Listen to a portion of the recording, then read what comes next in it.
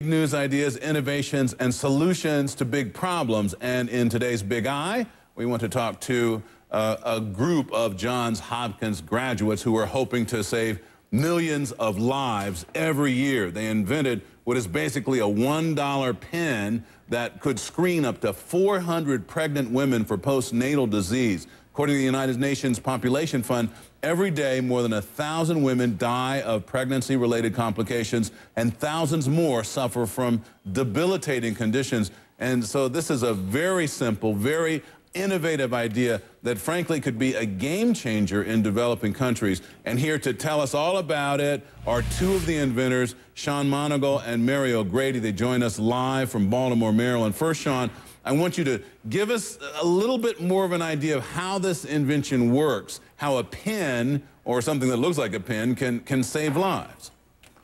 Yeah, so the problem is that current methods to screen for these conditions in pregnant women are too expensive. Uh, so what we developed is this pen that Mary has here. And what we can do is we can give this pen to community health workers in developing countries that travel village to village.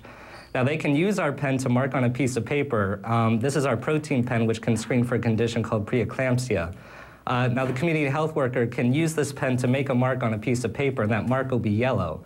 She can then give the, pen, give the piece of paper uh, to a pregnant woman, and she can urinate on it like a pregnancy test. And if the yellow mark turns blue, that indicates she has a protein in her urine, which is a major symptom of preeclampsia. And that's a sign that she needs to seek help at a health clinic or a hospital. Um, right now, this pen costs about a dollar to make, and we estimate we can get up to 400 tests out of it. So we're looking at a cost well under one, one cent per test.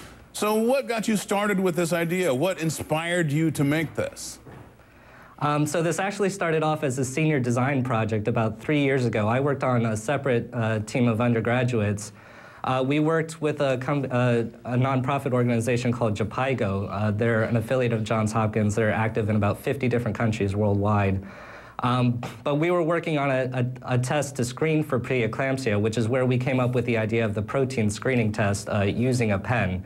Um, we've been able to work with Jhpiego not only through the development of the pen, um, but also to help field uh, to help conduct field studies last uh, last fall, and we're continuing to uh, to schedule more field studies in the coming months.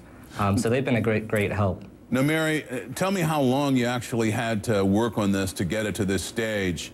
And sure. either of you sort of give us idea how long it's going to take to actually get it on the market. So as Sean was saying, the the protein pen began a couple of years ago, so it is furthest in development, and actually um, Jhpiego has plans to take it into field testing this summer.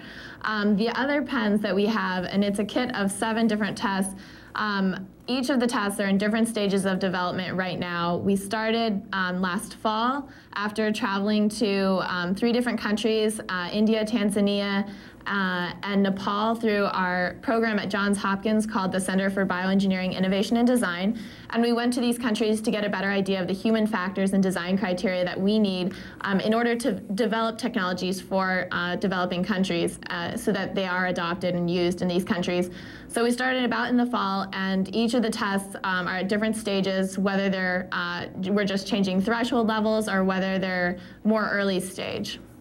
So, but we ex we expect a, a, couple will be going out in uh, the end of this year and next year as well. Yeah, the, the protein screening test, which is the furthest developed, if all of our testing this summer goes well, we hope we can probably start mass production maybe at the end of this year or early next yeah. year. Great. All right. Thanks so much. Sean Monagle and Mary O'Grady in Baltimore. We appreciate it, and we'll be watching to see the progress of your innovation. Thank you. Right, thank you very much. For more about these folks, check out our blog at cnn.com slash Ali. Uh, Want to know what innovative ideas we'll look at tomorrow? You need to